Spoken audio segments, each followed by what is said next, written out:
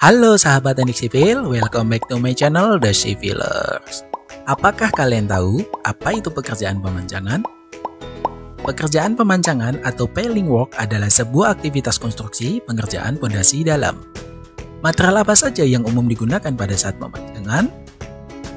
Material yang panjang yang umum digunakan yaitu berupa baja dan beton.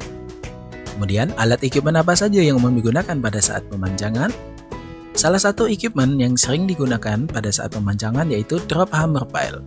Drop hammer pile ini mempunyai beberapa tipe, salah satunya hydraulic hammer pile dan diesel hammer pile.